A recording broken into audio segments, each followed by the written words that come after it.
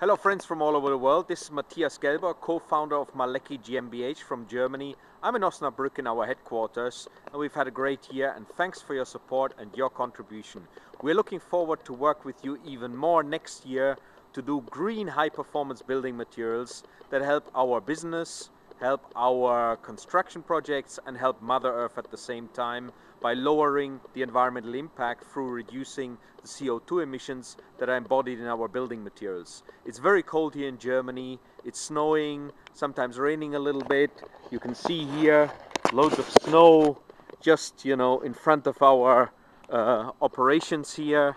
We have uh, uh, kind of our little pool here, but the trees there are all full of snow.